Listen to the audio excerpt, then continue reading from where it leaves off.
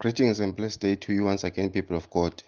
Welcome to the final segment and last final chapter of Partnering God in Business for the year 2020. And this is season 5. And this will be segment chapter 5 and the last chapter 20. And before we get into the final segment for season 5, let's just get a brief recap of what we covered in season 5. In segment 17, in financial salvation, which was the subtitle, we talked about the spiritual liberty, profits, and the loss of material inheritance. Then we also talked about the greed and selfish ambitions, the business collapse, and the ultimate loss. And we went ahead and talked about the temporal material profits and the permanent spiritual goals, including the everlasting and eternal inheritance. And today, we want to conclude season 5 with information that is unique, that defines and explains financial salvation, which is the subtitle under Partnering God in Business Season 5. And we are going to be talking about the unborn again business principles. The unborn again business principles. So it's not just a human soul that is not born again, but the business principles, the activities of a business, the way a business is done. It is done not in the Jesus way, but it is done in the evil ways that reflect the presence of the devil himself. Meaning that it's not a business that is done to please God, but a business that is done again for the purposes of greed, manipulation, and sabotage. And once a business is done in that manner of fashion, it is no longer a business that is also being done to support the community or a business that is being done for the benefit of the majority, but a business that is being done to only please a few while the, the masses remain oppressed. And I mean, even a nation itself has its own bookkeeping strategies. It can reach that level whereby it can end up oppressing masses with its financial principles that are not born again. However, we are talking about individuals partnering God in business and what is desired of them to have a business that is rather born again than this type of business that we want to explain that is unborn again in its principle in its principles and operations. And we said we're going to be talking also about the financial greed, manipulation, and sabotage. And at the end, to conclude later on, we are going to be talking about the genuine, the, the genuine financial salvation, the real desired financial salvation, according to the expectations of God. So for us to understand more on this last conclusion on season 5, which is now segment 20, let's get into scriptures. In Luke chapter 19, verse 1. And Jesus entered and passed through Jericho. And behold, there was a man named Zacchaeus, which was the chief among the publicans and he was rich. Having entered through Jericho, the scripture immediately informs and alerts us that there was a man named Zacchaeus, which was a chief among the publicans, and he was rich. The fact that the scripture immediately mentions about Zacchaeus in the midst of all the people that it left aside or left behind in Jericho shows that Zacchaeus was not just an ordinary man in Jericho because he was rich. The moment you become rich, as long as you are in this world, the moment you become rich, you become a notable figure. You don't become just ordinary, but you become extraordinary. You become easily notable. And we want to find out and realize what made Zacchaeus easily notable. And he sought to see Jesus who he was. The same that I said was easy, easily notable, or should I say was known and was famous, is the same that sought to see Jesus who he was. And the reason why he sought to see Jesus who he was, though he was rich, is because there was something that was supernatural about Jesus. He was not rich as Zacchaeus. Jesus did not come in the fame of being rich. He came in the fame of the glory of heaven. And the one that was rich had to find out and was keen and was interested and wanted to realize and find out who really this was that was also popular in his own fashion that had nothing to do with the riches of this earth. And this was what Zacchaeus wanted to know of all things, though he was also a notable, popular, famous, prominent figure in Jericho. And he sought to see Jesus who he was and could not for the for the press because he was little of stature. And the scripture defines that Zacchaeus was little of stature, but still in Jericho, he was the prominent, he was the popular, he was the famous because he was rich. So it doesn't matter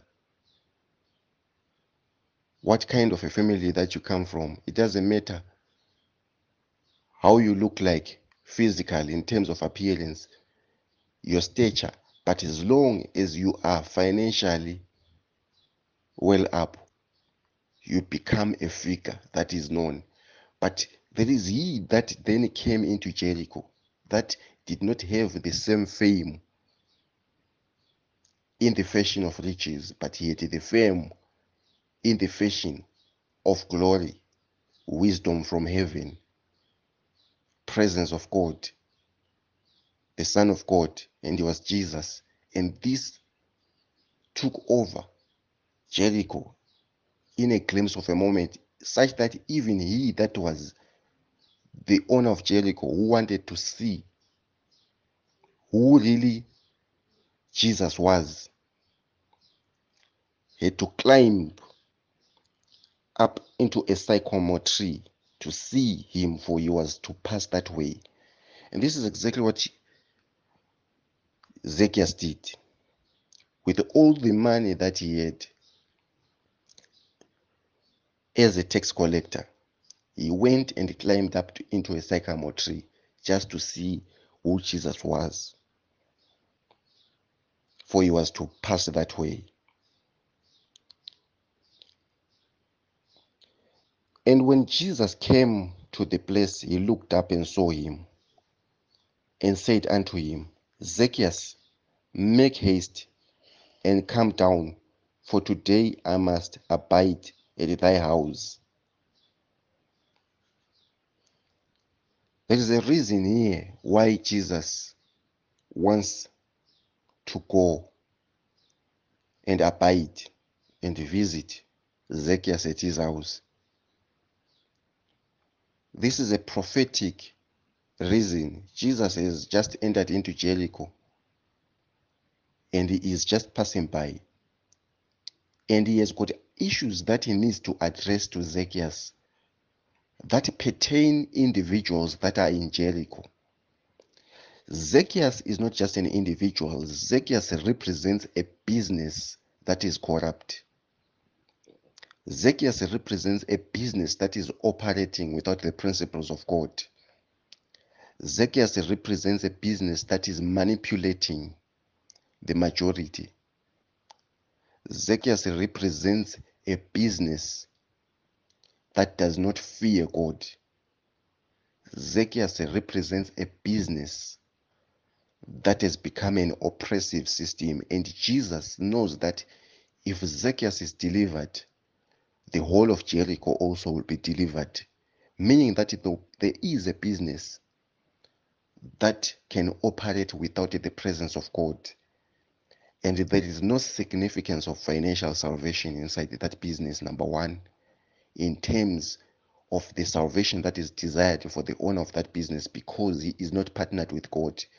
Number two, there is no salvation of finances in that business. Every profit that is made in that business is not for the benefit sake of even the community itself. It does not support the needy. It does not support the poor. That business is an empire of the devil himself. Its profits, its margin of growth and expansion is not for the sake of the kingdom of God. It is for the sake of the kingdom of the devil. It does not save the principles of God. And such were the operations of Zacchaeus is not just only a tax collector, but a businessman that had not received Jesus Christ in his life. And this displeased many people in Jericho.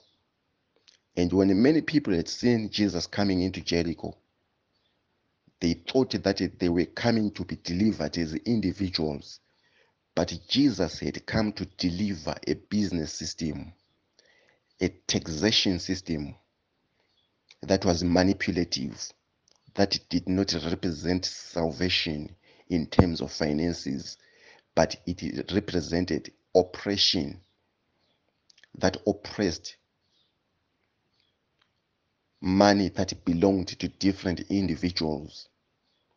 Meaning that many people in Jericho started to struggle financially, not because they were not working, but because their finances were oppressed and they needed that financial salvation from Jesus. And when Jesus comes, they don't expect to see Jesus telling Zacchaeus to make haste and come down, for he must visit him at his house. This confused a lot of people in Jericho. And as soon as Zacchaeus made haste and came down and received, joy, received him joyfully, all the people that were in Jericho, they saw this and they all murmured, saying that he, must, he was going to be guest with a man that is a sinner. The reason why Zacchaeus has been described and defined as a sinner by the majority of the people that are in Jericho is not because of his own personal life activities, but because of his business principles. The principles of Zacchaeus in business had gone to the level of suppressing people financially, stealing from people. The unborn again business principles, the business that is done in crooked ways of making profits, and it excels according to its crookedness. A business that is done according to theft and fraud. and it robs the weak, it robs the elderly people. Daylight robberies of finances that are done and a business grows not according to the principles of righteousness, of honesty, and transparency. Those are the unborn again principles. All being emphasized by the financial greed that Ezekiel had. He manipulated this the majority and he sabotaged them. But Jesus has come to influence the genuine financial salvation in the city of Jericho and put an end to the unborn again business principles that inspired the taxation of many that was unfair.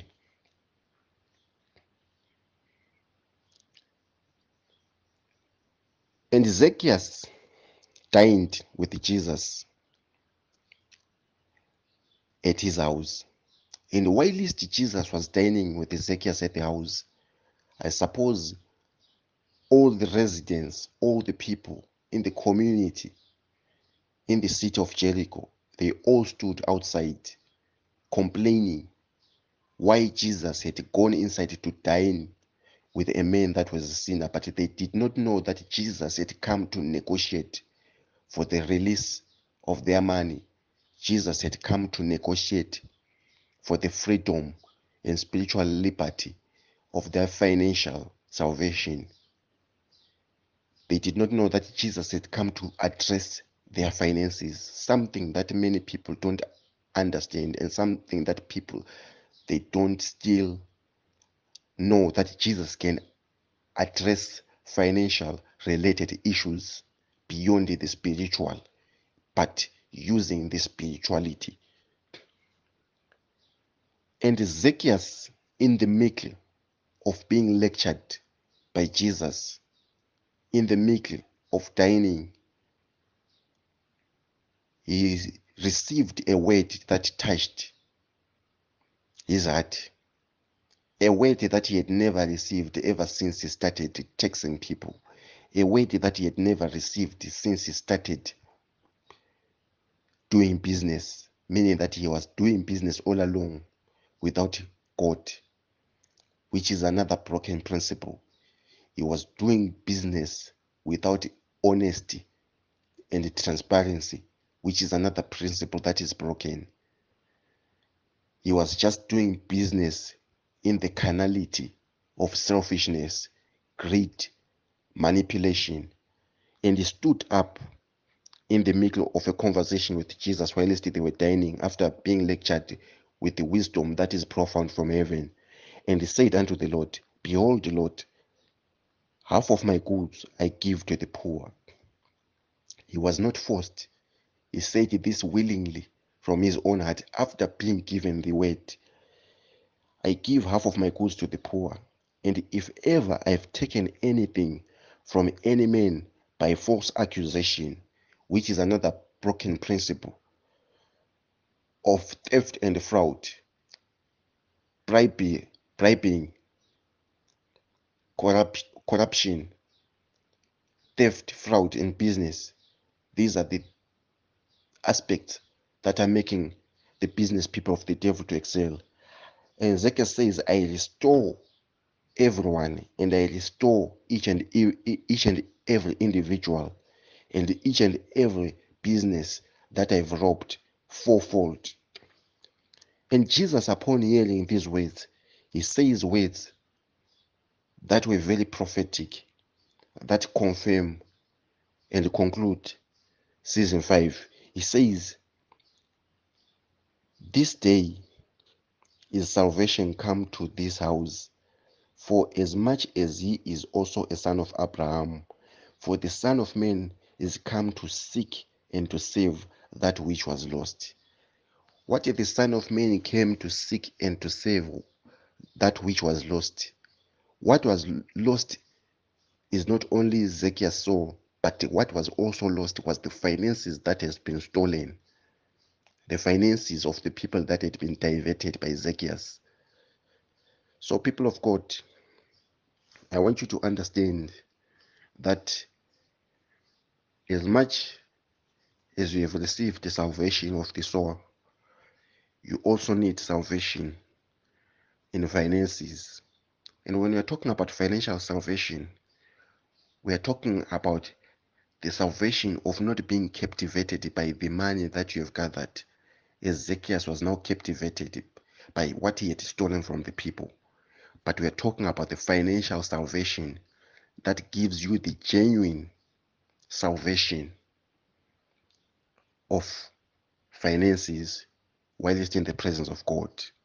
Until next time, have a blessed, great day.